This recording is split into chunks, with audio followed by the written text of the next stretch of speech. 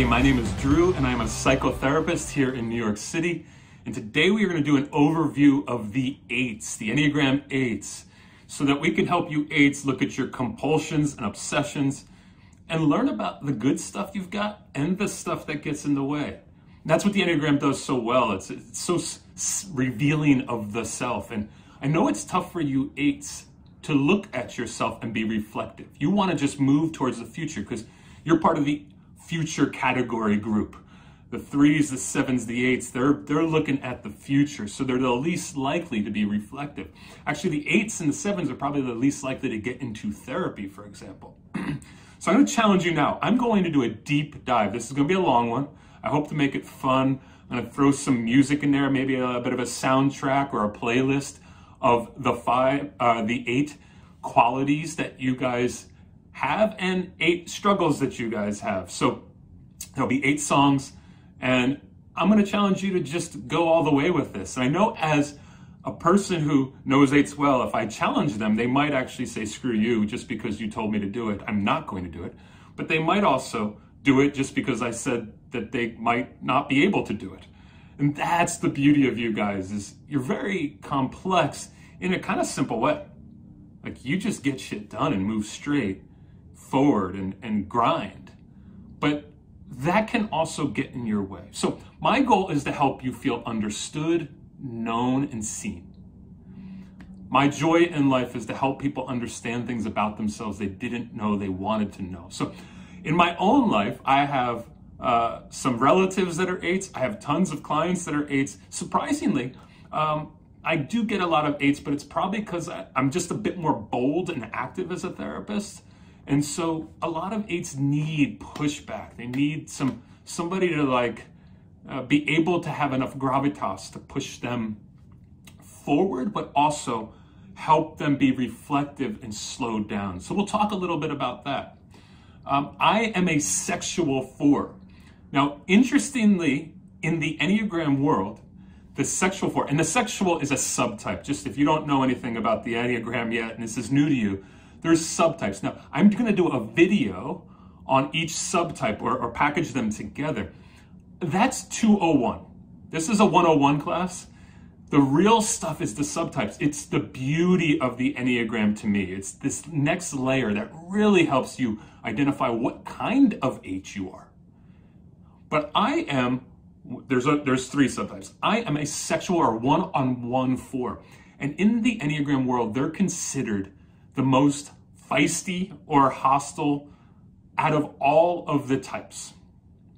Now, the eights in general are considered the most hostile. But the difference with a, a sexual four is I have emotional range in a different way than you do. And I'm a studier of humans in a different way than you do. The eights study the humans so they can get them to do things for them, to get the job done.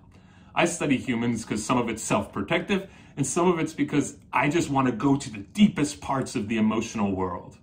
So when someone hurts me, I kind of know a lot about them emotionally. I might know what their uh, issues with their parents are, or their boyfriends, or girlfriends, or wives, or husbands, or whatever kind of non binary relationship they're in. And I can call that out if I really get hurt. So it can be ruthless. And it's also why I love the eights. I identify so much with you guys because there is a feistiness that I cannot restrain at times. There's only a little bit different between us. So while you guys are the least reflective, hopefully you can hear from a sexual four who really identifies with pretty much 70 to 80% of what you guys both have as a skill set and a struggle. And we can do this together.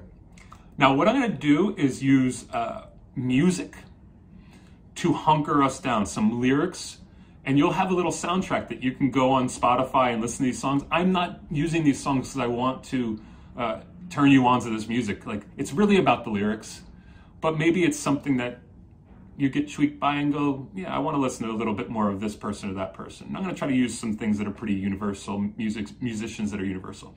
But think about music, for example. It really connects, I think, to the eight spirit. Like some of my favorite photos of artists are, you know, like Johnny Cash with his middle finger, right in the camera, uh, Iggy Pop with his chest out at a concert. You know, these, these moments where the rebel spirit comes out. And when it's overly raw and young, it's kind of cute at times, but it has to mature and grow. So if we think about the public enemies, the Rage Against the Machines, the, the Nina Simones, the Marvin Gayes, I grew up with conscious rap like Tribe Called Quest and De La Soul. They help us fundamentally structure how we see the world and how we can be bold. Now, also for me in my own life, I, I'm I really dig comedy. So I think of people like Jerry Seinfeld or, or Larry David that seem to have at least some qualities of an eight that there is this like I'm going to put it out there, I'm going to be me, and I'm going to say hard things, and you just have to deal with it maybe Dave Chappelle or Louis C.K., you know, they can get themselves in trouble and they can indulge, but they also can be a good rebel spirit for us to look at, especially like a Jerry Seinfeld who, who has found ways to harness and structure what he does and the feist he uses. Okay, so we're going to get into the first song right here come with me. Please subscribe if you're into this. And if you're looking to get individual help, uh, whether that be short term or long term, holler at me. My stuff will come up throughout this, and you're going to find ways to contact me if you need to. All right, guys, thank you for watching. Let's get into the first song. All right, let's start on the right note by praising you guys for something great that you do. Now, when we're talking about the Enneagram, we're always looking at a lot of the negative stuff, and that's what a lot of this is going to be. I'm kind of shitting on you a little bit, but trust me, I do this on all the numbers, especially mine, that we have to dig into the shadowy stuff that we try not to either look at or we don't want to integrate, we don't want other people to see. But this part of you, with some uh, exceptions, is great. You guys stand in the gap for those who need a person to stand in the gap. And for that, you have to have a resistance to being pushed around. So, first song is by Tom Petty. I want I won't back down. So here's some lyrics. You can stand me up at the gates of hell, but I won't back down. No, I'll stand my ground. Won't be turned around. And I'll keep this world from dragging me down. Gonna stand my ground. And later he says, Hey baby, there ain't no easy way out. You know, there's an identification that this is hard. Life is hard. And then he says, I just got one life. I'm to stand my ground. So I think what you eights do so well is champion causes that need to be championed. You guys have a bit of a hero complex, and we love that about you. Right? The marginalized, the abused, the folks who need a voice you will find them. And often not indiscriminately. There's a part of you that actually finds some causes that you're really interested in, and you push towards rectifying wrongs. That's awesome. Now, what can happen is because you're so feisty, because you're so um, commanding in a room and, and often brash and honest you can look like or be experienced or actually be, depending on your health level. And when we're talking about the Enneagram, we're always talking about a spectrum of health from unhealthy to really healthy. You know, if you've been working on yourself for 20, 30 years, digging deep, reading all the right books, you know, talking to the peoples, then a lot of this is going to be things you're chipping away at. But some of the things you probably had to chip away early at as an eight is possibly bullying people or running them over, needling, you know, like just poking at people and, in a sense, abusing them. You can be demanding and devaluing, even demoralizing, even though your goal is to lift people up. You might not know how people can receive what you give. So your massiveness actually can make you have a smaller impact because you're doing it in the wrong way. So these tend to be some kind of opposite tendencies, but they come in the same package because at the same time, We need uh, an explosive person who doesn't explode on people, a reactive person who doesn't react poorly, a resistant person who doesn't just resist control for the sake of resisting control, an individualistic person who also can understand the heart of other people. And that's part of what you guys have to do. You guys are truth seekers and champions of cause for the quiet and the oppressed, but you have to seek also the truth in your own life. So while you stick up for the underdog and you seek justice, your crosshairs also have to be not just at the target that your cause, but also at the parts of you that you are going to not identify and work through because you are so future oriented.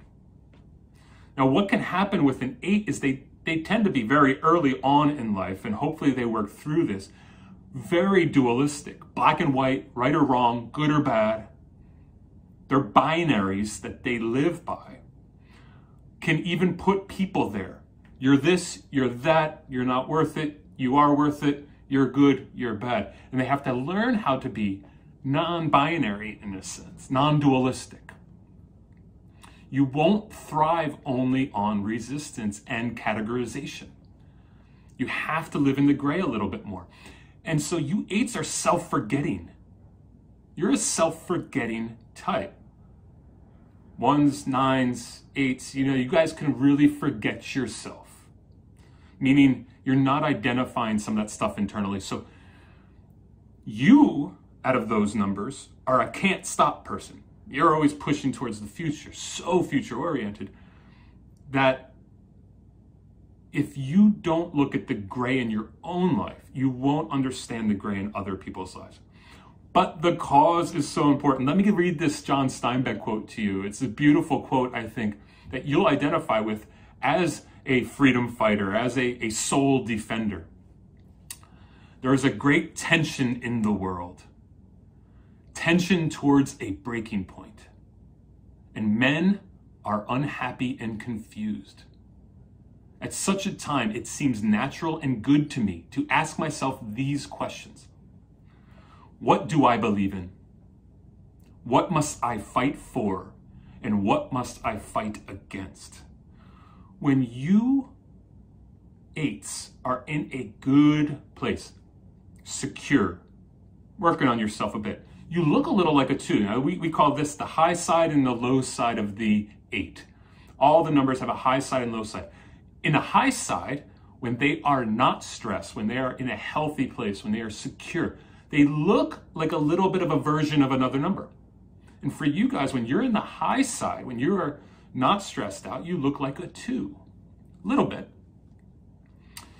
You are softer and not weak or tender. Uh, you are a bit more okay with being needed.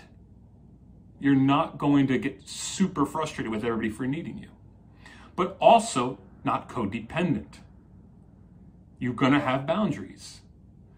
You will strive to attach and actually even depend on friends or loved ones.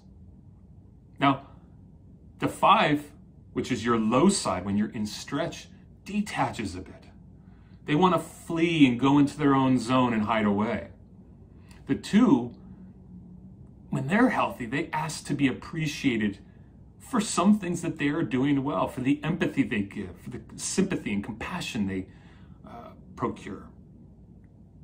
They can be more vulnerable than you guys. They don't need to use their power as a primary solution to their fear or their anxiety. You guys need to use power to feel safe. You don't want to feel unsafe in the world. You don't want to feel controlled. So you seek power. Now, the low side, you know, when you are in a bad place, um, like the two, you might want to be flattered. You might be a bit codependent, taking care of people who can't take care of themselves. That gets in the way of the bigger mission. Now, on a low side, when you're stressed out or you're or you're just young, and you're not really healthy emotionally, you might withdraw quite a bit from the group. You might uh, withdraw rather than like moving forward like you guys are good at. Hunker down into a safe place. That's what the fives do. They'll, they'll hunker down when they're in stress. They can, yes, be careful analysis. They can investigate really well. And you need to adopt some of the healthy part of the fives. We all do. But when, watch when you're in stress. Do you retreat from the world a bit? Do you hunker down and start researching, researching, researching? I know a lot of eights that will just research things to death and they're not admitting that there's a bit of anxiety and fear or maybe they're just they're admitting it but they're not working on that anxiety or fear they're they're just using the substitute of over investigation to support their system now the five can be thoughtful and mindful they can be those analysts they can gain perspective by pulling back and, and that's the healthy part of the five you have to work through but don't let your analyzing and researching and investigating as you withdraw be some kind of pseudo uh, support or faux security.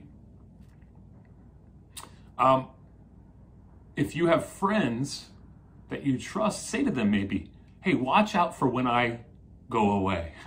What's happening there? Am I retreating to work and in the darkness, kind of working, working, working because I feel a bit scared? This is where you can utilize your resources and, like a two, maybe find ways to get your own support. All right, on to the next song. All right, we're jumping right into it. Oh, I'm going to give you a song from The Boss. And this is about you guys being bosses. So we've got to start with Bruce Springsteen. And one of my favorite songs is I'm on Fire. And this, I think, really captures the eights spirit. And has a couple lyrics. I'm just going to speak the couple lyrics into your your psyche here that are some of my favorite lyrics in a song because I really identify with it as a sexual four, and I'm sure you eights will. So here it is. Um, the song I'm on Fire, there's these lyrics. Sometimes it's like someone took a knife, baby, edgy and dull and cut a six inch valley through the middle of my skull. At night, I wake up with the sheets soaking wet and a freight train running through the middle of my head. Only you can cool my desire. Ooh, I'm on fire. Bruce, at his best, the song is about a target, passion, desire, and aim got you in my crosshairs. And that's what the eight does so well. They see something. It's different than a glutton, a seven. It's different than just over consuming. It's seeing something of quality and wanting to, to grab it, get it any way you can, and being determined.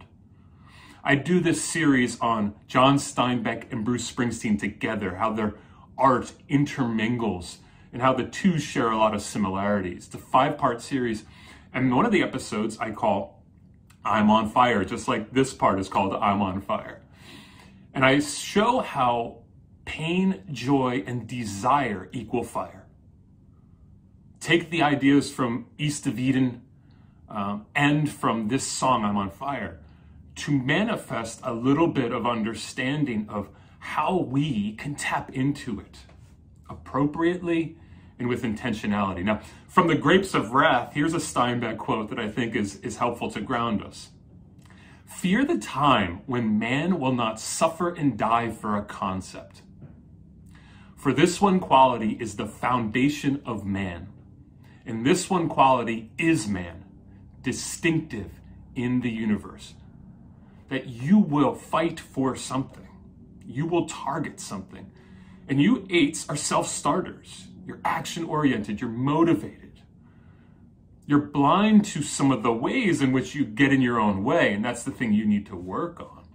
And additionally, you have to work on your innocence, being softer and tender to yourself, the child inside of you.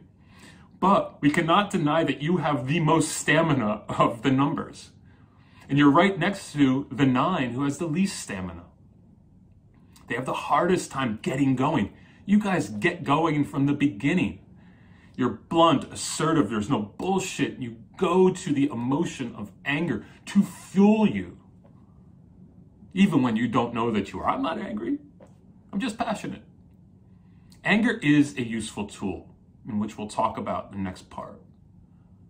But you guys operate in action, get it done, and are catalysts. And that's why I love Bruce when I first went to go see him. And, and I've seen Bruce like 20 times now. And the last three shows, four shows I saw were all over four hours long. Coming off the stage maybe once. Just boom, boom, boom, song after song after song, sweating bullets, middle of the summer, and just had a target the audience and bringing them joy with the music. Now, when you guys are vulnerable, you don't get connected to what is fueling you. You don't feel or identify the feelings. The feelings are there, they're operating, but this is part of your responsibility. Because if you are too motivated by fear and anxiety, not naming it those things, then you will oper- probably be operating out of a place of chaos or, or I would say some kind of manic state. Now, the good thing is you guys can handle chaos in a way most people can't. You carry burden, you can create order out of disorder, and that's cool. And, and again, this is the boss in you. You use that fire, and especially when healthy, so wisely, and you communicate very commandingly so that people know where you stand. But if you are not in charge, then who are you? And this is why it can be so difficult for them to not be in a power position. Sometimes say that, uh, well, my friend once told me that I was fierce with finesse. That as a sexual four, there's a certain finesse because of the emotional awareness that I have. And this isn't to tout me, it's just like I think that sometimes you eights can be fierce with fierce or fierce with forcefulness yes, when the tough gets going, the going gets tough, but also if you are constantly steamrolling and walking all over people, you're missing something. So, we love that you are fun and that you can make a good time out of anything. Um, but you also can get your own way by switching in extremes that might not be helpful to you. Of course, you want it big, and it's it's something I love about you guys. And it's a, what I love about Bruce, although I don't think he's an eight. Uh, I love that he goes after the big. Now, here's here's an interesting thing that I've found. I have a friend who I think is an eight, and we were at the gym one day and talking, and and as a kid, I was picked on, and I was a late bloomer, and so I was maybe like five, seven, five, eight when I graduated high school. Like no hair on my body. It was super awkward. I had these huge nipples that didn't make sense to me. I found out many years later that they're called nipple knots. They're a part of puberty and they last very short period of time. And for me, they last like a couple of years where I was putting band-aids over my nipples. Sharing too much? Okay. So I was talking to him about how as an adult, there's times when I feel very small. Like I just feel that that same size. And he said to me, now he's five six. He says, I've always felt about six three, Always. He just feels big. And I've heard this from other eights. They just feel big, even if they're short. You'll see a lot with, with eights that they'll gravitate towards big dogs. I don't know a lot of eights that are cat people. Maybe there are, maybe write me if there are. Um, maybe big cat people like uh, the, the Lion King or what, what's that guy's name? Doesn't matter. Um, Tiger King? Tiger Guy? Whatever. You saw it on Netflix. They tend to want to be around big things with power. It doesn't intimidate them. When they walk into the room, they gravitate towards those people. Where are those people? Where are my threes and sevens and eights? Where are those big personalities? I want to rub shoulders with them. And this helps, that friction, that gravitating towards those types helps you cast even better vision. and influence and push better because you're getting around people who do it well also. So we, we want to actually um, embrace and applaud that future thinking, that planning. But the self forgetful part of you doesn't live in the present enough and, and also doesn't like to look in the past too much. That's why you often aren't in therapy. Here's where it goes wrong. And I've seen this happen to almost every eight. Their body starts breaking down. Either they overdo it in exercise or they underdo exercise because they're working so hard. But a lot of them end up having medical issues that catch up with them. They burn out physically. You will pay the price in your body and you're forgetting your body. So you're part of the gut uh, area of intelligence. So your body is very important to you. You have to be monitoring it and taking a scan of it often. Gut people perceive with the body. That's where your intelligence is at. Your gut, your instincts.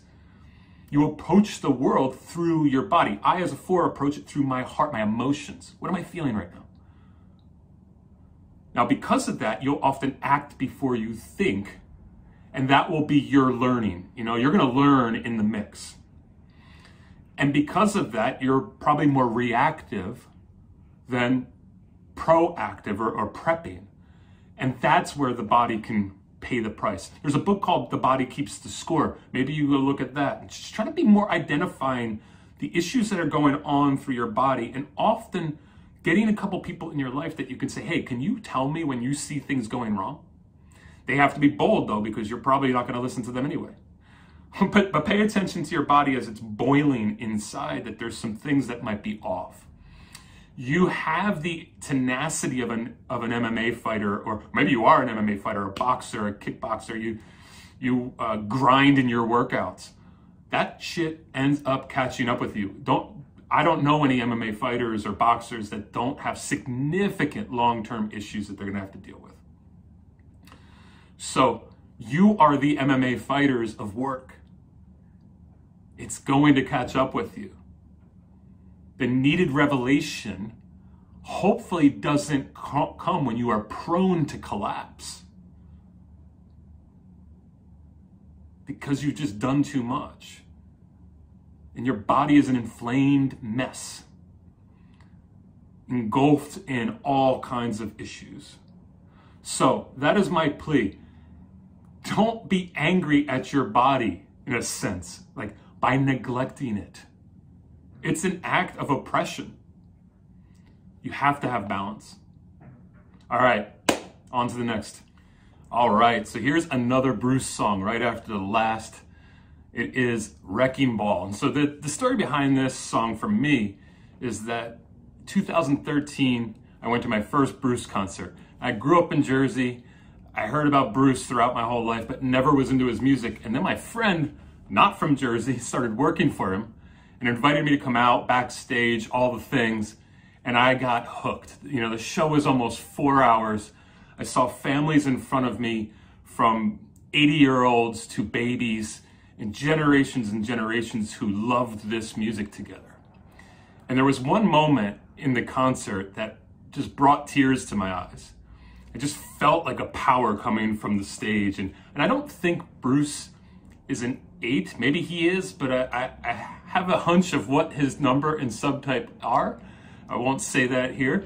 But he played the song Wrecking Ball, which is about the Meadowlands, which is where the New York Giants, the football team, played. Uh, the old Meadowlands and how it was getting torn down and the new building was going to be built, the new Meadowlands for the Giants to play in, the concerts. And he had played tons of concerts at the Meadowland. And this song hit me because it was about the grind.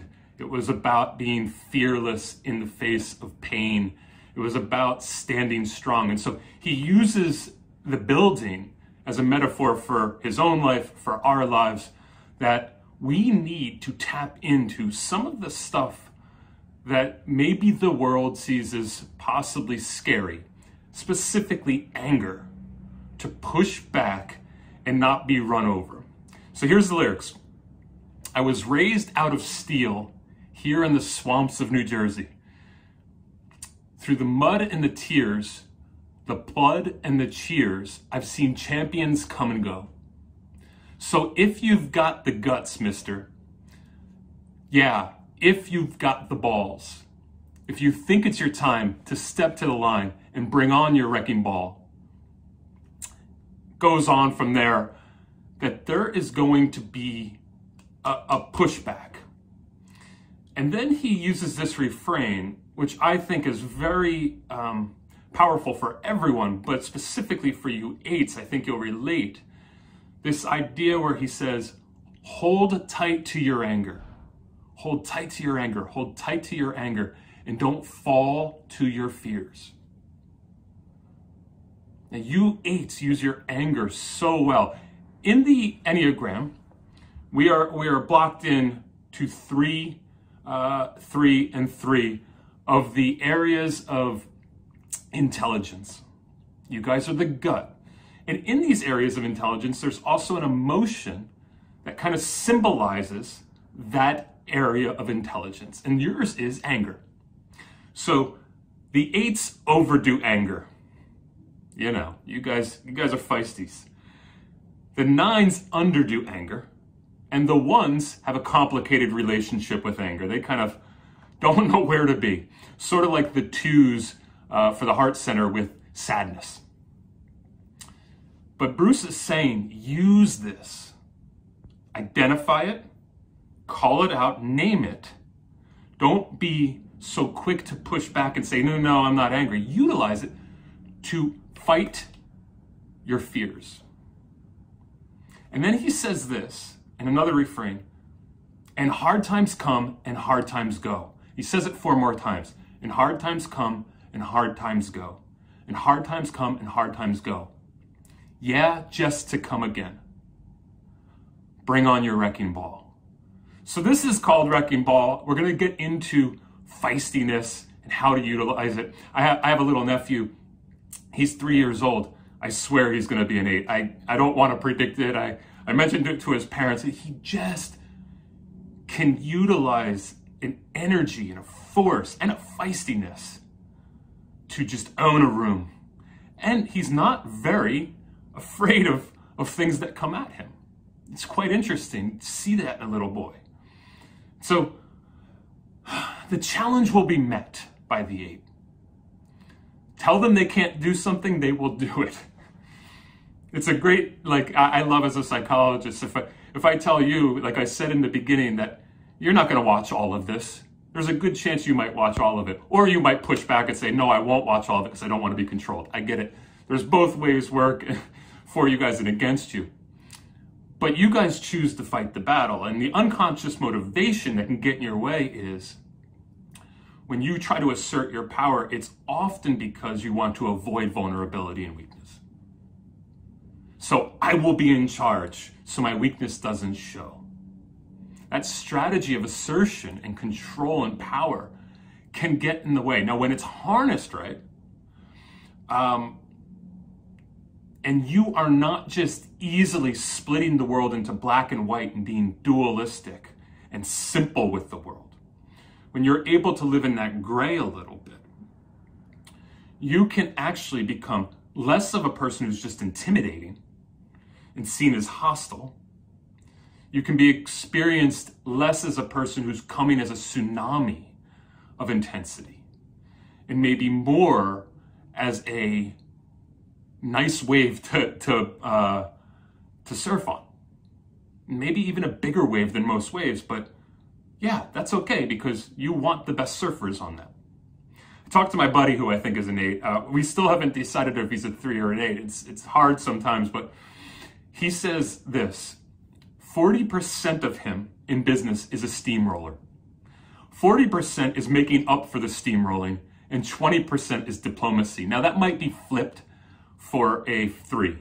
Um, but when he says something hard to somebody, he doesn't overly get consumed by it. He walks on. If he's angry and puts his anger on people, he can let it go. Now, as a sexual four, I know the difference between me and an eight is that I might even be more angry and more feisty than an eight. But when I walk away, there's a, na- a natural shame that comes with it. It's a feeling that there's something wrong with me for even having pushed that way. Now, that's what I have to work on is pushing past that to actually be bold and uh, forgive myself and let that shed off. You know, the, the sexual fours and the eights have an interesting um, relationship in that the, the fours are way more aware of their emotional uh, depth, um, ability to be melancholy and dark. And so while we are feisty, we don't let things go as quick as you guys do. So I may wonder after afterwards, what do they think? Uh, did I go too far? You guys might think the same thing, but it might haunt me for a while. And it might get in the way of the relationship because I might hold on to it and actually avoid or withdraw from that person. It's not the same need for communal recognition that you guys have. Sure, you want to be seen as worthy and powerful, but you don't have the same need uh, to be seen as unique and authentic. Now, I talk about anger and how to use anger in another uh, episode that isn't on the Enneagram. It's on Seinfeld. so I, I do this uh, three part episode called Seinfeld as Psychologist, who I think uses his anger really well and maybe an eight. I'm not sure, but I, I tend to think that there's some real strong eight qualities in comedians in general, as I've said before. And so I think he utilizes that anger to really um, be a force in the world without a lot of guilt, but he has found ways to harness it. So go watch that episode if you want to get deeper into how to utilize this anger. For women or folks that identify on the uh, on the binary spectrum somewhere, a non-binary spectrum somewhere, as having more what would be considered feminine qualities. Uh, it is tough for you eights because an eight is a masculine archetype. A two is a feminine archetype, the caregiver, where the challenger, if you are more on the feminine side of things, is considered a bitch um, or too much and while you are looking for justice and fairness, you may be perceived as outspoken and going too far. It shouldn't be this way. I challenge you to find the appropriate balance for you, but to be bold no matter what. And to start forgiving yourself for being strong if you're too strong and you're getting that feedback and you're running over people, you need to pull back a bit and balance it. Men and women, they and thems. Okay? Um, depending on where you live, this might be harder than other places. Now, I live in New York City. Strong women are all over the place. It's a city that is built on power and pushing forward certain parts of the country, for example, the South, a woman is expected to be a certain way in certain environments. And so it might be very confusing and entrapping, and uh, you might feel like you're bit in a cage. Either fucking move to a place where you'll be more understood or push back on the system. But take heart, your energy ladies and those who identify more in those uh, softer, tender parts of their, their self. Um, it is sexy, I would say. It's attractive. It is beautiful for you to be bold. So uh, I, am, I embolden you uh, for whatever that's worth. Combat and content, uh, contention is also part of our environment in politics and entertainment right now, specifically. And so it is actually magnified and indulged in.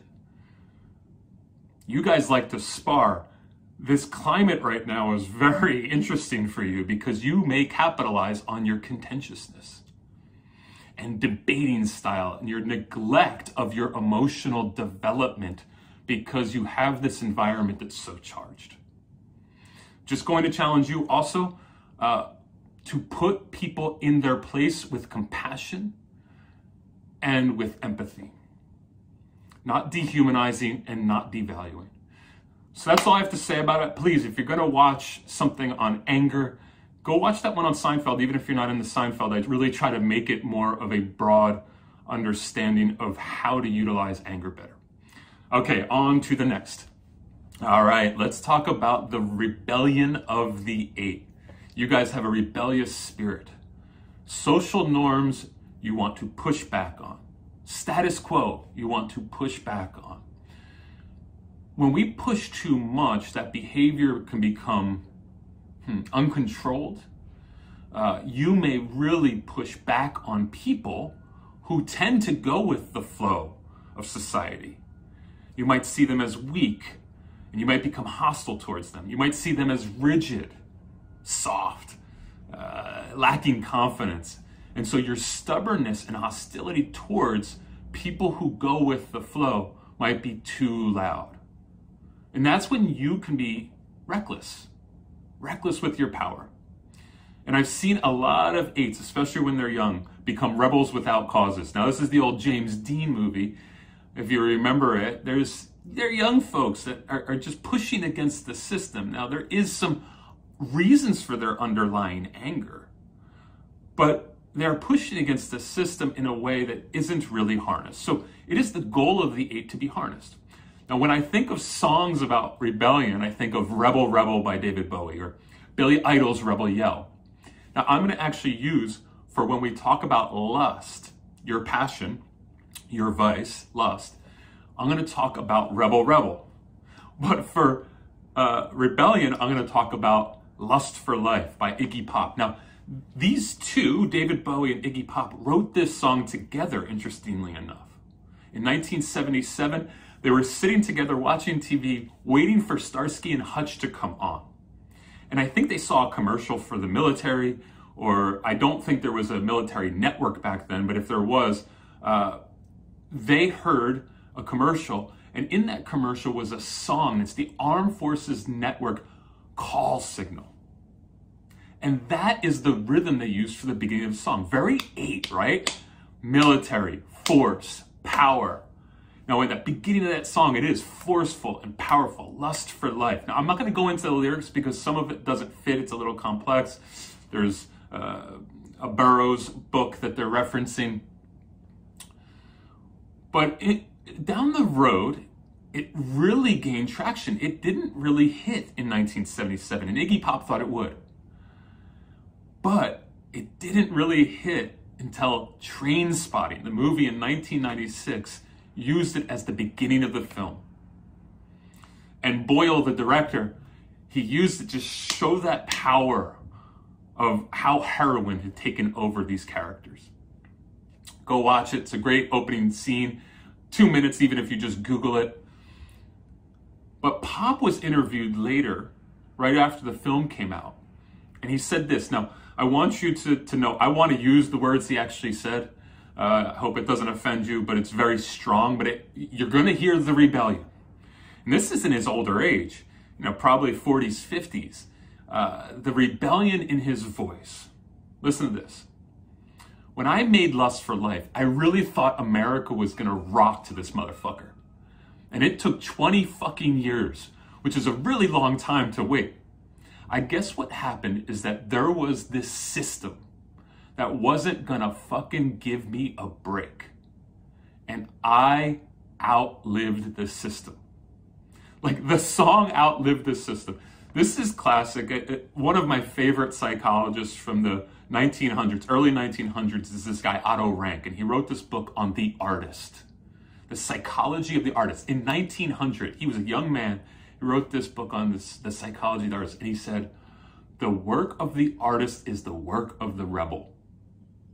They push against the collective soul, and they become singular." And that's where you guys fit in. It's like, don't tread on me.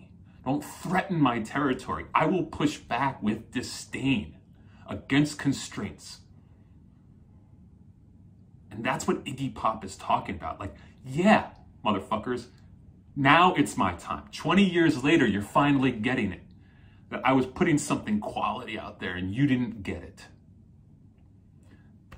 You eights feel that. And, and folks who are watching that aren't eights, you have to know like there's good and bad to that. It's electrifying, it's eager. It's not often met with malice, but it can destroy. When we are broken, especially as eights, the world can seem pretty threatening even when it's not. And so it feels like it won't work for me. You hear it in Iggy voices, uh, Iggy Pop's voice, like it, it's not going to work for me. Something's going to happen here that is going to go against me. Now, what can happen as a response, especially with eights, is that they can then become like how the world is to them. The world isn't getting you, the world is pushing back on you. So then they start pushing back. They might bully and needle, they might become combative. Most of the time, they're trying to help with how they push back on society. But often it's just wild, like we talked about, that, that it's obviously a rebel without a cause, that it doesn't have the real juice behind it. Even though they can use um, some kind of underground emotion. They're really at some level detached about what they're really feeling, which might be hurt and pain and sadness. And that can make them rough around the edges. Now, if you call them angry, often they'll say, I'm not angry, I'm just passionate, or I'm not loud, I'm just passionate. But you have to know how much of that anger is ruling you and what's below it. You know, with all of us, anger is often an easy go to because it's just more powerful. And for people who really can't experience power, it's hard for them to tap into it. But for those who have an easy access to it, like eights, it can mask the hurt below. Now, I, I want to talk about sexual eights. Again, I'm going to emphasize this over and over again. This is the foundation work, the Enneagram number the subtypes is the next level. It's the 201 classes. And so let's just briefly talk about the sexual type. Now, you're always all three. So for all of you eights, there will be some sexual one-on-one component in your life, even if, if it's your last on the triple stack. You know, it's the most muted. But I think we can use the sexual eight here to just kind of describe the rebellion a bit more. They want to possess. I will have it. I will take it. I want you. I'm going to go after you. I want it. I'm going to go after it. That, that's kind of an open rebellion. It is a, I'm going to be here and I'm going to, no matter what, get that thing. What I do, who I am, is different and I am passionate. But interestingly enough, like I was talking about, there might be a mushy underside, especially with the sexual eights. They're a bit more emotional than the other two. And so while their anger can be heightened, their frustration can be heightened, and you could feel their like dictatorship at times, often you'll see that they'll get to those lower levels too and break a bit.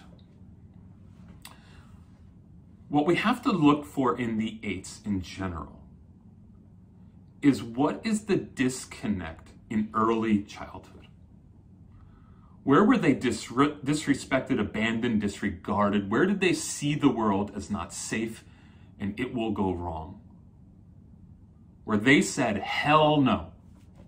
Like that rebellious spirit, hell no, I'm not going to deal with this this way. I'm going to push back. It might be with their parent or their town or their state or their city or whatever. But something made them feel unsafe often and they said, I will not feel unsafe again. I will get power over this situation, over this environment, over a car, over a trip, over a hotel, over whatever. Now, I'm a sexual four. I relate so much to the sexual eights as, I, as, as I've told you before. In, I, I relate to the eights in general. um, sp- but specifically to the parts of the eight, uh, the, specifically the sexual eight, that draw people in, are magnetic, are wearing the passion so brightly. There's something uh, almost glossy about it. They penetrate. You know, the idea of that sexual type is about exalted moments, about heightened moments. It's really about a one on one relationship or, or a small group, but that idea of penetration, almost like sexually, that when we walk into the room, the sexual four and the sexual eight, we can penetrate, seduce you, pull you in, suck you in with our energy, with our with our carbonation. And we can expedite intimacy. And you will see this in a lot of rebels, a lot of musicians, a lot of artists, like Bowie, like Iggy Pop. Think about Iggy Pop, he's always got his shirt off. Bowie's always, you know, maybe not in later life, but in his younger years, was, was super expressive and seductive sexually. This is a way they dominate. It's why they make good dictators. it's also why they make good leaders. What do we have to look at here when we talk about going from your passion to a way of healing, to innocence, from lust to innocence? You have to ask yourself the question, rebels Do I need to be provocative in this moment? What am I rebelling against in this moment? Is it for a cause or is it because I have no cause and I'm just angry at the world? What are you fighting for here? Ask yourself Am I trying to prove something in this moment or in this season of life and to who? And this is sometimes where you'll get to the deep, psychologically juicy stuff, where you can mine and dig, go back to your origins, and ask the question there Am I still trying to prove something to dad or mom or to my peers, to my, my coaches, to those around me that possibly didn't get it and should have? And now, am I doing this now with my middle finger? Look at young artists, uh, Instagram. Just pop on Instagram and see how many people are posing with their middle finger up. What is that about? It's about saying, and it's often unconscious because they just do that. They see the, the photos of their favorite artist. The favorite one for me is Johnny Cash, just giving a middle finger like this. It's one of the best photos, but it's also like, it's young. It's a young expression of rebellion, but it's often misguided. And so you have to ask the question who am I giving the middle finger to and why? Is there a person I'm really trying to get love from here that I didn't? And while you're spelling your cast, or casting your spell, and that part of your social scheme to get love, ask yourself the question of who am I trying to get love from? And do I need to love myself more so I don't have to be pushing back on the world so much? Okay, there's rebellion that works for us, there's a rebellion that works against us. Trying to find out how to mitigate and so that you are working for community, for a cause, is the most important part. All right, let's go on to lust, because then we're going to use this song, Rebel Rebel, and I think it will help us understand lust a bit more and the difference between lust and gluttony.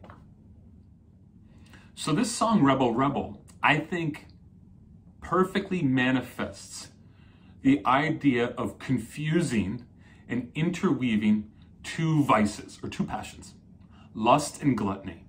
Now, we know that the seven's passion is gluttony, and the eight's passion is lust. But we can confuse those two. For many people, they think they're the same thing. Or they simply think that lust is about sexuality and gluttony is about food.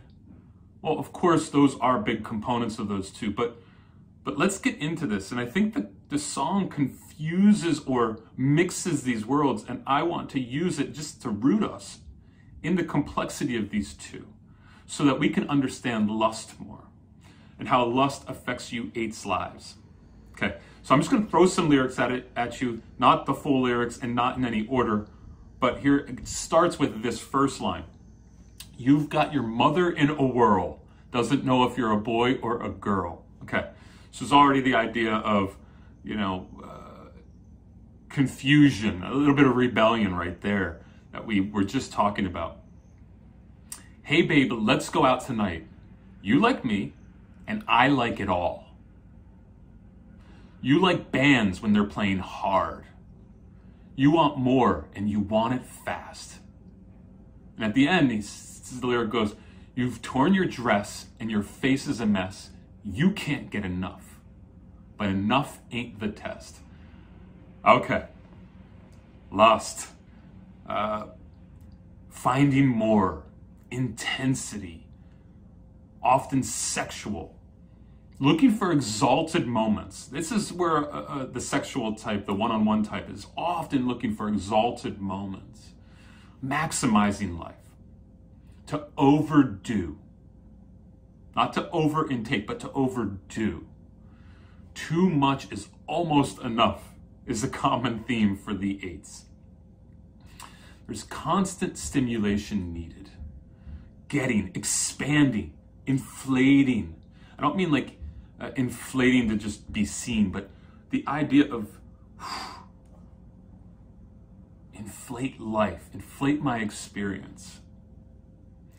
They can be very reckless. Now, I want to just get into the wings real quickly. I want to talk about a hard eight wing seven. When I say a hard or a strong eight wing seven, I mean that your first number that you scored is an eight, and the second number was a seven. That's like a, a hard, like I'm a hard four wing three. Those were my top two scores. We all have wings. You might just be an eight wing seven, but you know, seven doesn't register that high for you. But let's just use them as an example. They can be one of the most reckless combos out there because they are mixing gluttony and lust together. Big, big risk, big reward, big decision makers. Let's do it. Let's go for it. Forceful, dominant, uh, opinionated. They could be very social and talkative and confident. They can have an addictive personality. Now, eights and generals, you guys struggle with a lot of these. And again, we're all three number or, or three subtypes, and we're both wings, but we can definitely lean towards one more than the other the eight wings seven especially might really need some strong trauma in life to work on their shit. To be more sympathetic compassionate empathetic. To understand what people are going through they might have to have really been hit by life. Car wreck type of stuff emotionally.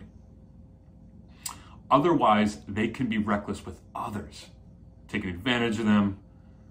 Um, getting that rush from the risk and so to be more empathetic, they have to identify when they are in a rut, when they are in liminal space, betwixt and between, stuck, hurting. Now, they can also be super enthusiastic, passionate. That's that's great. Um, so, like anything, your wing works for you and against you. But as we use them an example to learn about lust and gluttony, think about those two com- combinations together. Now, let's talk a little bit about what they are. What's lust? Lust isn't an emotion. A lot of people say, like, lust, you're, you're emotionally, you know, you're experiencing the emotion of lust. No, it's an experience of emotions. Eights can lose track of their emotions really easy. They can, they can often go unidentified for them. So when you are really passionate, you might actually try to name your emotions? What are the emotions underlying? What's what emotions go into relentlessness? Can you experience them? Gluttony uh, is the idea that once I gotten it, I want more of it. I can't just have one.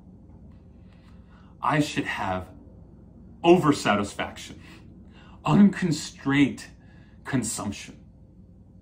Think about my friend always talks about Doritos, like they're made so that you just can't eat one. You just want to keep on eating and eating. And so that's where we get this idea of, of food for uh, gluttons is that they, they can't stop. Their stomach will expand metaphorically and sometimes literally. Lust is different in that you see a target and you will get it. It's more based on focus and pleasure, strong desire, where the glutton is not going to savor um, and their consuming can be very costly to them, maybe to the environment. The lustful person has a target, and when they get it, there will be pleasure in it. That might be good enough for them to get it. They're going to be big in it and really enjoy it, but they have a target. It's a thirst for that thing. And the reason it's a vice is because when you have a target like that, and you are not constrained, or you are unhealthy, or you are young, you might do anything to get that. You might compromise yourself, you might compromise others. Because even in many cases, it's because you're going after something that's not yours to have. When we are wild in our lust, we are often targeting things that aren't meant for us. So you might not see the humans or the emotions behind the target, especially when it's a human. If it's just the thing you're going after, well, you might have to take out humans to get that thing. Maybe it costs a lot of money and you have to run over people to get that money. So we have to, you know, engage our discernment and our awareness of self when we have targets in that pursuit. Otherwise, it will reduce us. Now, the glutton is indiscriminate, it's not as targeted. Uh, it's self indulgence for self indulgence sake. So it reduces you to being lost in the immersion in that moment. It might not actually affect the other humans as much, where the lusting can. But when you're lost in that immersion, you're losing yourself, gluttons. Uh, Self indulgence reduces you. So, where the lust can often hurt others, the glutton is often hurting themselves. Now, of course, that the byproducts of that is it hurts other people. You know, if you're if you're a glutton for drugs and alcohol and food, you're going to be affecting your friends, your family, obviously. With lust, it's also a desire to control others. Um, it's a people oriented experience. So, yes, you might be going after material things, but often that's going to require you to engage humans. And to do that, you might have to run over them.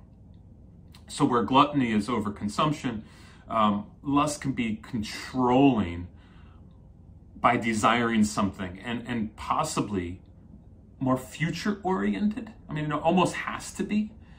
While sevens and eights are both future oriented thinkers, the lustful person, the eight, is a bit more targeted in their future orientation. Where uh, the seven might just be using future, like, you know, uh, exciting things and filling themselves with things to fill that hole. Um, so we, we, we have to concentrate on how future oriented do you push out you eights? How do you miss the now? Because your target is so deeply embedded in you and, and you're passionate and desiring it so uh, deeply that you miss the now. We could it, uh, maybe make these useful um, categorizations here. I think when we're talking about gluttony, it's more inward directed. It's more filling the hole. And we're always filling the hole, but it literally might be filling the hole and not being able to stop filling the hole. The lustful person, the eight, seems to be more outwardly directed. It's about a target out there. So, where the glutton might more easily hurt themselves, the lustful person, the eight, might more easily be hurting others. It's also the difference between quality and quantity. Quality is an eight thing. I want that thing because I really like that thing and I want to go get that thing. I want to possess that. where quantity might be more of the glutton's issue. Just I'll just take, I'll just keep on putting it in there. Um, that sensual experience is different than that pleasure oriented experience. I want the, I'll wait for the pleasure. I just, the other one just wants sensuality just coming at them. Uh, it, in that sense, it's kind of like the most versus the best. You know, think about it that way. Um, think about adultery, for example. The difference between somebody wanting to sleep with anyone and somebody having a specific target. They're taking something that's not theirs, but one is just about consumption. I'll just, I'll hook up with anything. And one's about, I like that. I'm going to go after that. I have an obsession. You know, my obsession is towards that thing, different than just being insatiable. How can an eight diminish the negative effects of lust, the negative effects of their passion? Well, I think sometimes, like uh, Iggy Pop had to experience in his his music, that it took 20 years to get some satisfaction. Now, seemingly, he didn't handle it totally well because he's still so upset. That's kind of how he talks too, but the waiting, the being patient, the not getting something very quickly, to being very deliberate and discerning about how you'll go after that. And so sometimes how the world makes you wait will actually help you. And I'm sure at some level it did help Iggy but Iggy is naturally that kind of eight, I think, that there's a great picture of him, and, and we'll, we'll use it right now, okay? It's going to come over here or here. He puts his chest out. I think he was kind of surfing a crowd, and he puts his chest out like this. That is the eight. They're so in the future that they're missing what's going on around them and they need pause. I'm going to go into that later, but it is something helpful for the lust that we have. You can also think about the eight wing nine. So let's just talk about them real quickly. It's very confusing because you've got this peacemaker with this confronter. And so for people watching you know, they get really confused by eight wings nines, but they're less reckless they actually can, the nine part can kind of fix or ease the recklessness. They can be more eight wing nines direct and opinionated, but diplomatic. They can be grounded with their control, more methodical and thoughtful, can make you be in your place, but they have controls around themselves about how they will put you in your place or how they will use you, how they will uh, not even waver, but it will be more controlled. So they may still dominate and collect and possess, but they have that peace component in their personal life. And so the eight wing seven or the, the unhealthy, lustful eight can engage that nine part. I think also um, just growing older. You Iggy Pop was probably in his 40s when that experience with Trainspotting happened. So I want you to think about Carl Jung's words as we, we end this. He says about the libido, about the will, drive, that it becomes less sexual in time, less intense in time. Like we literally, our libido slows down. I know mine has. I'm 43 right now. My libido has slowed down. My aggressive tendencies have diminished. And he says this In the first half of life, your first 40 years, the libido's will is for growth, expansion, as I said. Lust is about expanding. In the second half of life, it hints softly at first and then audibly, it gets louder, at its will for death. What we mean here, what Carl Jung means, yes, literal death, possibly when you're 80s, you know, the next 40 years. But the death of how you misuse and your targeting is misguided. Okay? Let's take a break here for a second and just breathe in. Then we'll move on to the next song in the next part. All right, I want to follow up that piece with another Kate Bush song. And this is going to be a little tricky if you're reading the lyrics because there's something I'm trying to give a message about here that's a little layered. The song is called Hounds of Love.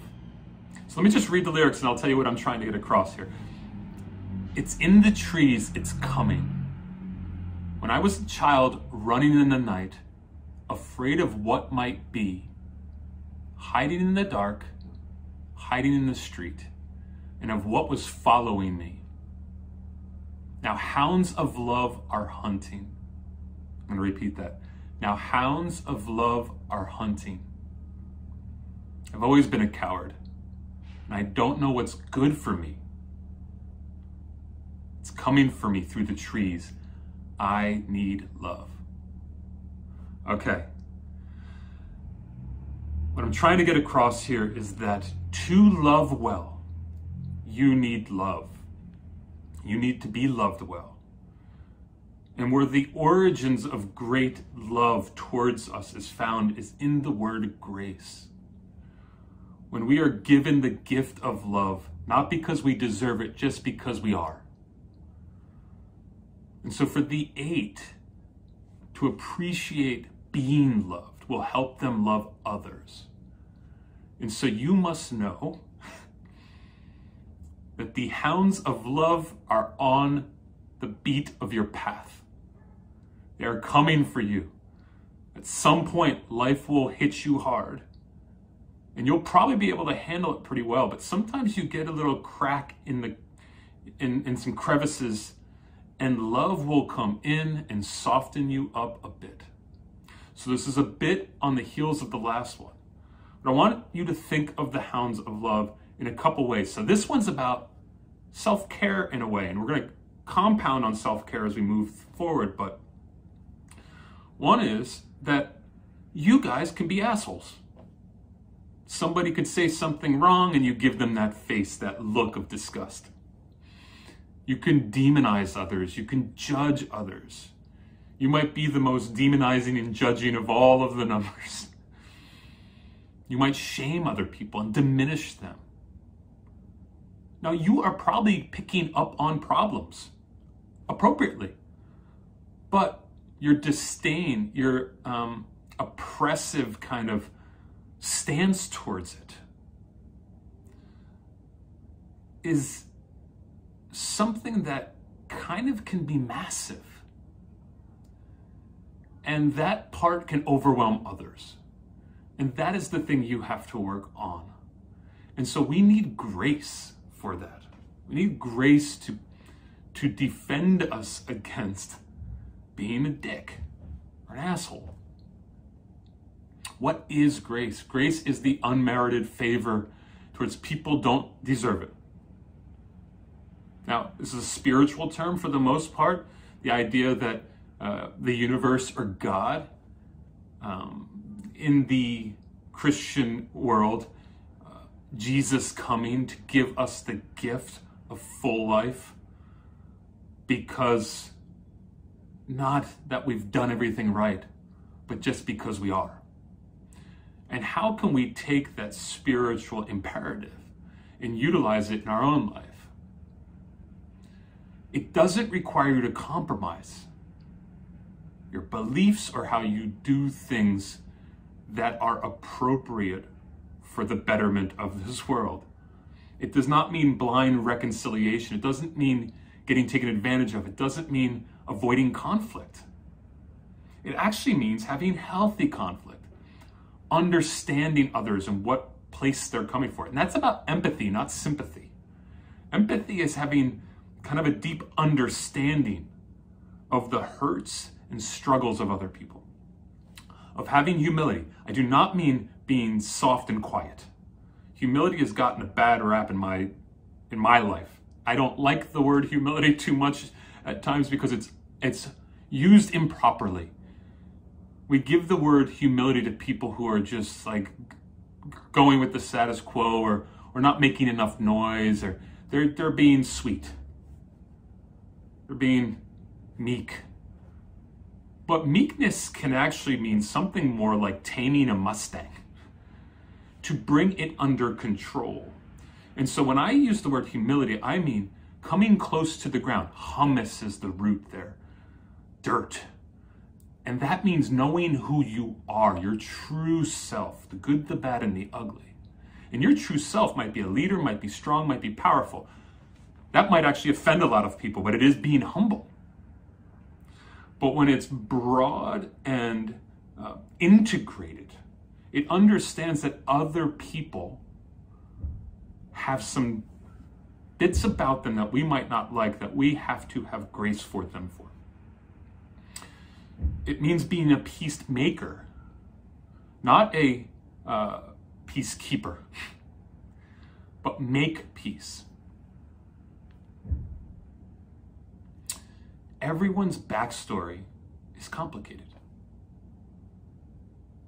As a therapist, I have clients who walk in and I might not hear a part of their story for two years. They're hiding it or holding it or saving it or not ready, like that last song we talked about. And, and in that, we don't know what people have been through. And the eight can miss people because of that. So if you are growing in grace, I think, eight, you will also grow in the diversity of those who you keep around you, and even in leadership, how you use them. That you will actually find ways to use people that you didn't think you would because you saw them as slow or incompetent or whatever, but you're finding their gifts because you're understanding more about humans. You have a predilection toward, towards binary thinking towards black and white thinking, of just putting people in categories. And there has to be a gray world that you live in and you are moving towards. Otherwise, you will be diminishing and get bored by people that are actually pretty interesting and layered. How do we do this? Okay, here, let me give you a couple tips, and these are hard. Uh, you've probably heard it that most of life's troubles come from men not being able to be alone by themselves. That's a quote. I, I want to say it's uh, Thoreau, but the idea that people, humans, have a difficult time being alone by themselves. I, I'll challenge clients who are eights to go sit in a closet for an hour or two with nothing, just lights off, see what comes up. Or wouldn't you rather just push forward, future oriented, get the hell out of that closet?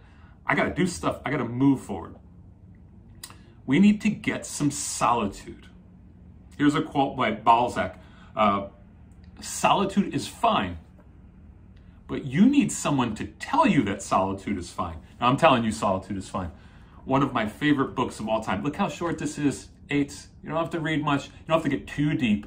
It's nine letters written by Rainer Maria Rilke, my favorite poet. I don't really read poetry. I don't even read his poetry. I read his other stuff. But anyway, in this book, there was a young poet around 1900 who was writing him. And, and Rilke was a famous poet.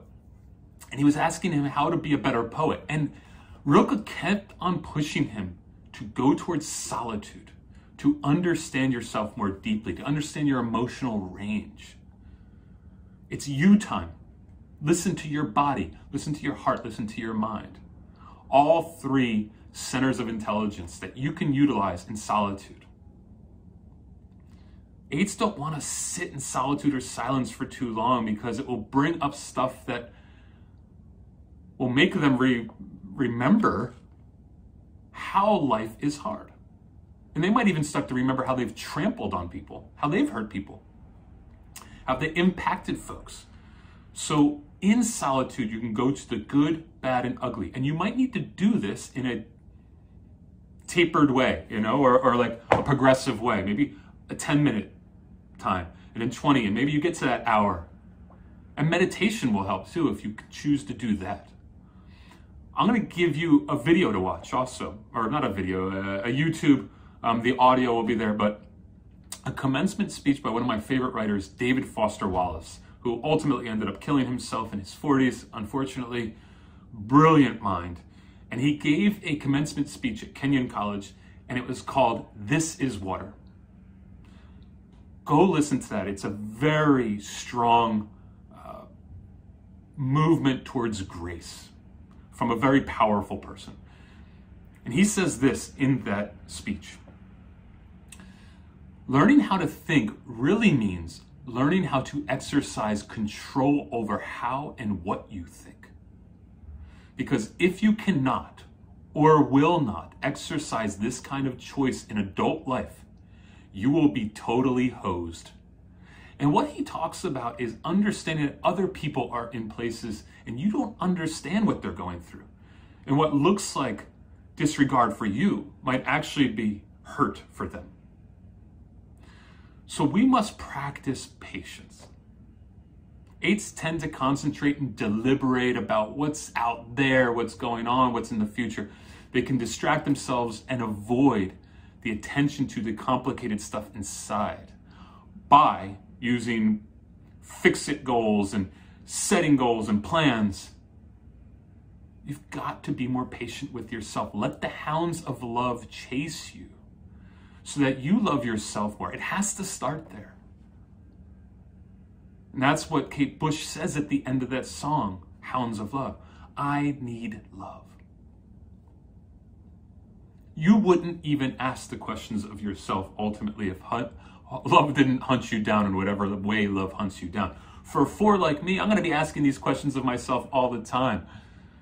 You know, I want to know all the deep corners of my soul. Also ask yourself this will it give you strength and even more honest control if you're going to be uh, candid with yourself to go deep? It will. It will make your career better, it will make your relationships better. It'll be hard at first. So, patience in your persistence. Even if there's a moment where you're completely wrong, get that feedback, and then go into solitude or silence to figure out what am I doing here? What am I missing? Yes, you guys can be steamrollers. You can walk all over people. You can get away with things. Um, but can you use a bit of that grit to look at yourself and understand in those spaces how you could be more whole? All right. That's enough with Kate Bush. Hounds of Love. Actually, another version of it's by uh, the Futureheads. It's a really kind of fun but layered song. All right, next. All right, folks, we are going to now talk about innocence. Yeah, I know. I know this is a tougher one. This is one where you have to tap into that softer side of yourself, eights. Feel the mushiness. This is also probably my favorite part here because as a therapist, I've worked with eights my whole career.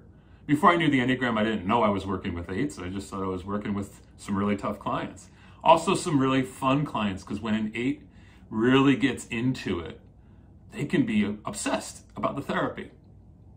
But I've seen eights be very tender, very soft, and when they when they actually get in touch with the child inside of them, the kid inside of them, they can see the most growth. And some of my work has actually been to help them talk to the kid. Where was that kid hurt at? What age? And go back and talk to that child as a parent would, the parenting they'd have wanted. And they tend to be much softer and gentler with that child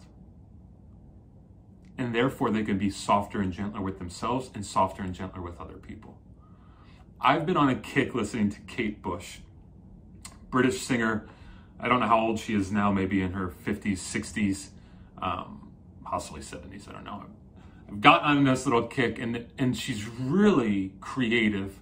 She started singing when she was around 11, and then uh, uh, I think one of the guys in Pink Floyd discovered her at 16 and helped her get a record deal. And she became this huge hit. She has some really unique songs that are actually in line with a lot of what I think eights do well, pushing against how other people have sang, how other people write. So, very stylistically unorthodox. And so I wanted to use her here, and I'm going to use another song too to, to help us in another part. But listen to these lyrics. Okay, this song is called "Love and Anger." It lay buried here. It lay deep inside. It's so deep, I don't think that I can speak about it. It could take me all my life, but it would only take a moment to tell you what I'm feeling. But I don't know if I'm ready yet. Take away the love and the anger. Looking for a moment that'll never happen. Living in the gap between past and future. Take away the stone and the timber. Let's just take those last two lines. Take away the stone and the timber, the hard parts of us, those things that we are rock solid inside, and we will not be wavered, we will not be moved, we will not be pushed. Take that stuff away for a little bit. Now let's get to that lyric before. Living in the gap between past and future. A lot of eight's past is something that they are disregarding the weight of. But there are things in their past that they feel really shamed about, possibly guilty about, hurt by, that they haven't told many people, if many at all. Maybe no one. Some of these things, as a therapist, they tell me and I go, Really? That was it? Because they've built this thing up to be so big that if they would have just told somebody way back, they would have gotten through it with a lot of healing. So, a lot of my clients, when they've finally come out with some of the things in their past, it was super cathartic for them, but also a revelation that, wow, if I had done this a long time ago, but they didn't know if they were ready, right?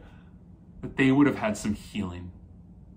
But because they've become grizzled and hard and timbered, solid, stoned, they have not been able to reveal. So you often hear throughout the Enneagram content that there is this underbelly of tenderness, of vulnerability. That yes, they are assertive and often heavy, but soft underneath. That there is a very strong capacity for compassion, empathy, but it's hidden behind a lot of their works. So that tender-hearted side only gets to be revealed every once in a while, and often they're caught off guard when it happens. Also, eights feel misunderstood. Like they won't be gotten, they won't be understood. I hear this from my eight clients all the time. Like, uh, they don't get it, they don't get me. Uh, I won't be understood if I share such and such. They can't handle me if you are going to grow up, you're going to have to realize people can handle more than you think they can. But because a lot of eights have grown up in such a way in which they felt like they didn't have control of their environment, they have reacted with taking control of their environment. But there is still that softer piece underneath. Now, I know this because it's true in my life as a sexual four that when I feel hurted, hurted, hurted by someone, when somebody hurts me, often my first instinct is to feel my anger. It's just a safer, more powerful position to be in. If I do the work and go, what's the secondary emotion, which is actually probably the primary emotion I'm trying to protect myself from, it's sadness. We have to look for the loss of innocence in our early life. Where was your trust broken? Where were you abandoned? Where were you neglected? Where were you not seen? I tell you in the beginning of all of my pieces that I want the people who watch these to feel seen and known and understood. But we have to be vulnerable to get that. So when we compensate by becoming too strong, and sometimes even oppressive and engulfing, that our social scheme is for control and power. And we can't get to that underbelly. It's too protected. And it's often because you didn't feel protected. So we might have to go back and do some psychological educating of our own story to ourselves. Write out your story a bit and try to find those places in which you didn't feel like you were protected. And therefore, the innocence hid in corners and in subterranean regions of your life. I know how scary it can be for an eight to start sharing and being vulnerable and open up. Because you often have also a suspicion and a paranoia about who you'd be opening up to. Can they handle it? What will they do with it? Will they take advantage of me? Will they share it with other people? And you go on protecting others. It's part of the way you eagerly move towards the world. I will protect others, but that's often you not taking care of you. You're using these other people as a way of avoiding you. Now, of course, there's great results from that, but are you using them? And we're all mis- mixed motives. Please don't, I mean, like, we should all be helping others. I get it. But are you using them to the neglect of looking at your own shit? Our virtue eights is innocence. And that's what that song is about being vulnerable, knowing how hard it is to share, but possibly sharing anyway, melting a bit, getting less icy. I know that eights can trust only a few people, but start possibly starting with them. Sharing just a little bit more. This will make you more well rounded. It'll make you a better leader, guys. And if somebody doesn't perfectly deal with your narrative, you do not have to put them on the shit list. You can help them understand you by helping you them understand how it hurts you that they didn't perfectly handle your story. You guys have to be encouraged towards vulnerability. Trust more people. Err on the side of giving people a chance. I know that's hard for you. Commit to them knowing you. Have the same guts and strength to share and reveal and be transparent as you do to lead and push towards the future. Yeah, I'm poking at you. Have the guts, the cojones, to actually share, to be softer. That's that's strength. It's not cute as you get older to constantly be a mystery. It's a fucking game you're playing. It's a joke. Let me soften up here a little bit. The end of that song, and I hope you do listen to it, it doesn't need to be like a song you dig, but listen to those lyrics, and at the end of the song, there's a chorus. And as far as I can hear, it's a chorus that is a mixture of children and adults. I feel like kind of uh, the weight of it, even as I'm saying it, the beauty of children and adults singing together. And there's some lyrics that say, well, if it's so deep you don't think you can speak about it, don't ever think that you can't change the past and the future integrate the child, the, the part of your life in which you are running from that feels weak and vulnerable and out of control. Integrate that part. Talk to the kid and help them grow up. Age them. There's a certain part of you that's stuck at that age. And so, therefore, you are not working with all of the operating uh, facilities that you could. What did they need? What did they want? What love did they not get? Okay, Here's another Carl Jung quote. I love this quote. He says, I always thought that when I accepted things, they would overpower me in some way. This turns out not to be true at all. And it is only by accepting those things that one can assume an attitude towards them, meaning some kind of maturity towards them, understanding towards them. Being receptive to whatever comes, good or bad, sun and shadow, forever alternating. And also accepting my true nature with its positive and negative sides. What a fool I was. How I tried to force everything to go according to the way I felt it ought to go. Do I have to say more, eights? You get it.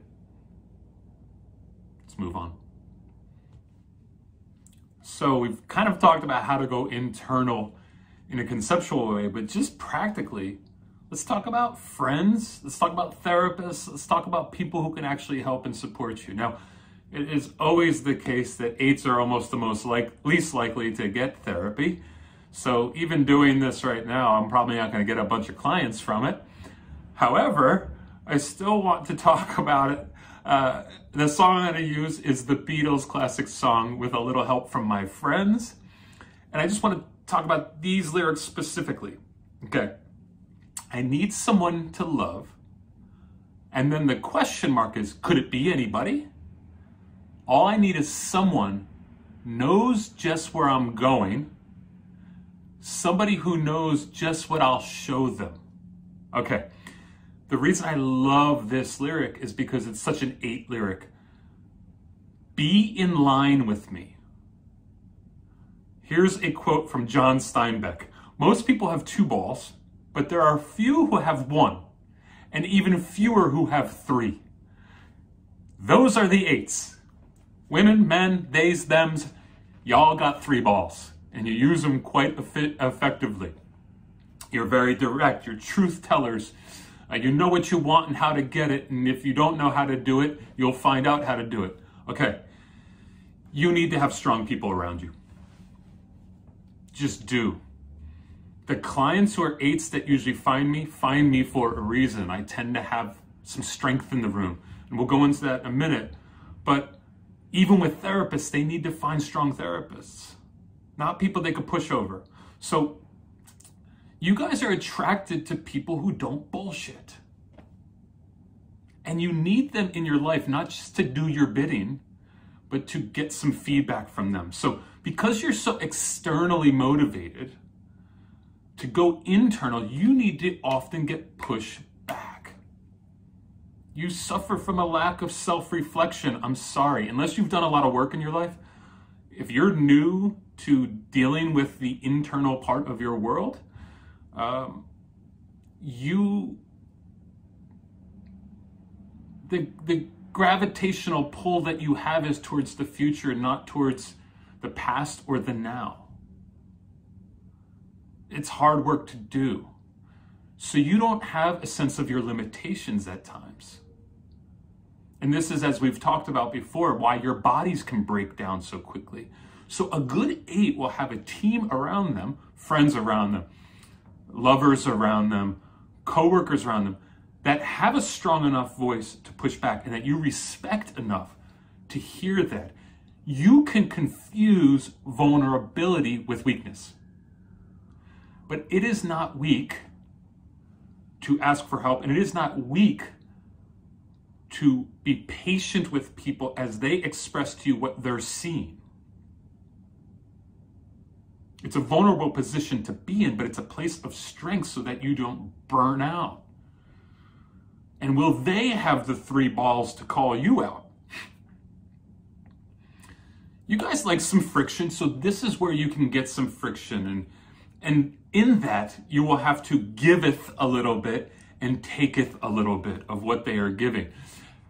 How are you doing? They might ask. Well, here's what happens when I talk to eights who aren't really self reflective, especially social eights I experience as this because they're a bit more gregarious and they're in environments where they don't want to be looked at as weak to the group.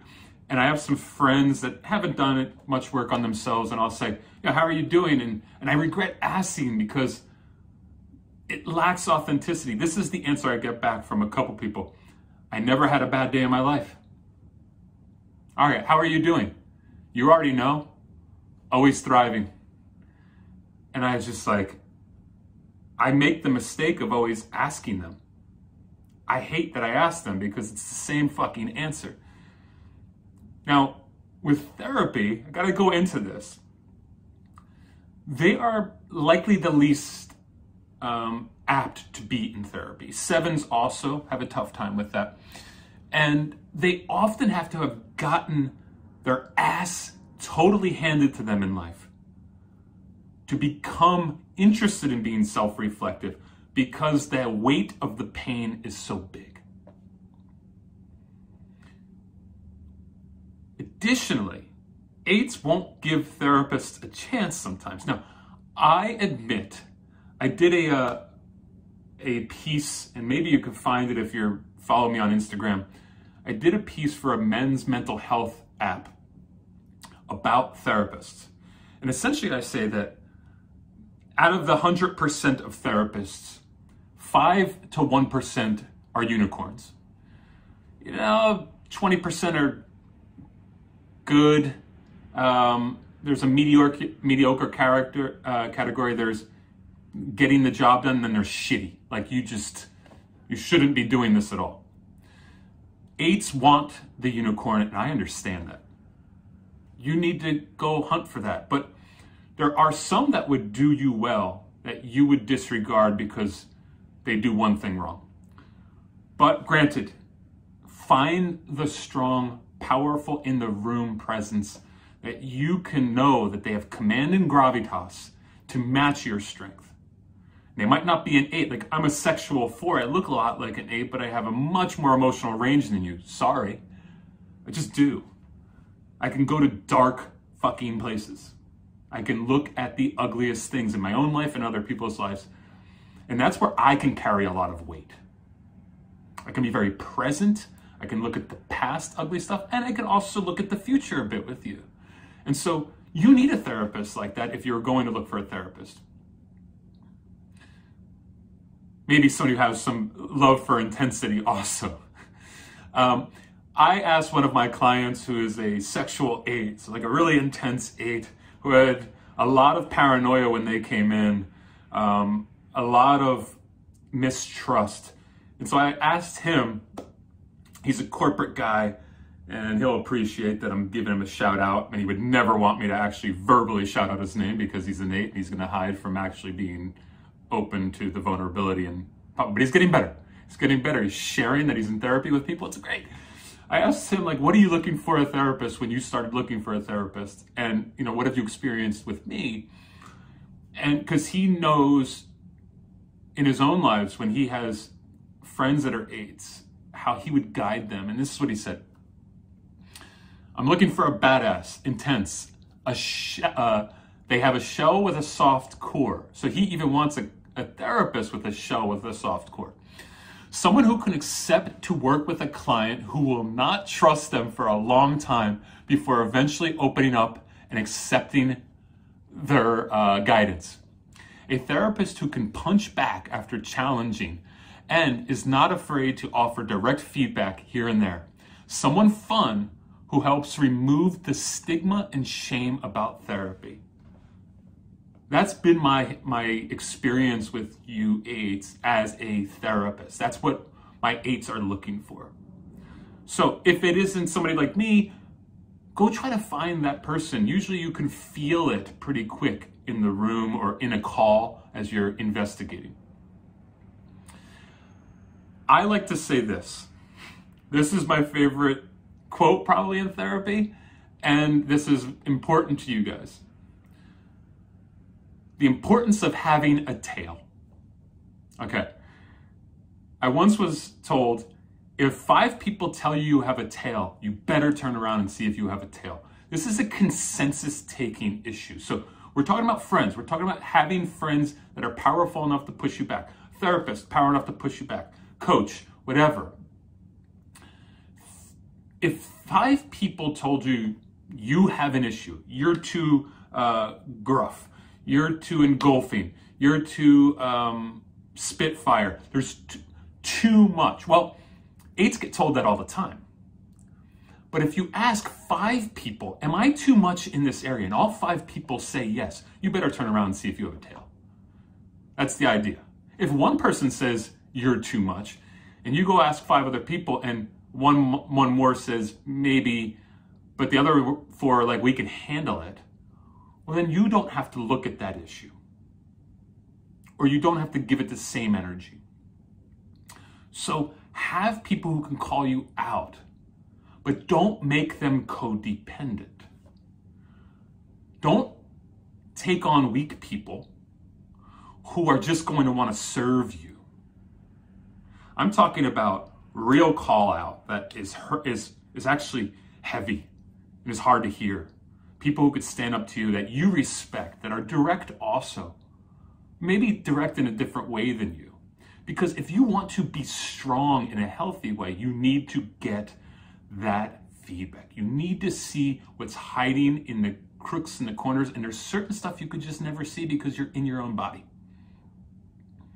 You already have difficulty hearing back, uh, hearing feedback because you're a person who pushes ahead. This is a good exercise for you. Of course, you don't want to also look for those people who are going to blame you for being too strong. I get that.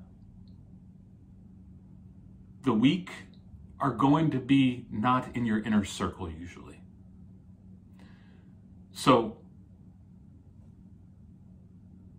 this is a act of one, a couple close people, but two, that other act of consensus taking. Do I have a tail? Somebody gives you feedback and you wonder, hmm, could this be experienced by everybody? And maybe I'm missing something. Maybe I have to soften Maybe I have to go to a different gradation of color from crimson to something a little bit more in the pink hues. Well, you might get that from asking a number of people. And if they all say you have a tail, you better turn around and see if you have a tail. All right, so that is a little help from our friends and our leaders. And I know you guys are good at being led if you respect the leader in charge. So find those people and let them push back on you so you do not burn out and die out. All right. All right, guys, thank you for joining me on this deep dive. I know it was a long one. Maybe you watched it in parts. Uh, I hope that you gain something from it and know yourself a little bit better. Please subscribe if you can. It's cool to just have people who are going to be uh, catching up with the Enneagram and staying engaged. Like I said, if you need to reach out for any help, do so and uh, my socials and my website will come up. Otherwise, I've so appreciated this time. And as I say at the end of all of my videos, in the words of Rainer Maria Rilke, everything is yet to be done. Everything. Thanks, guys. Have a good one.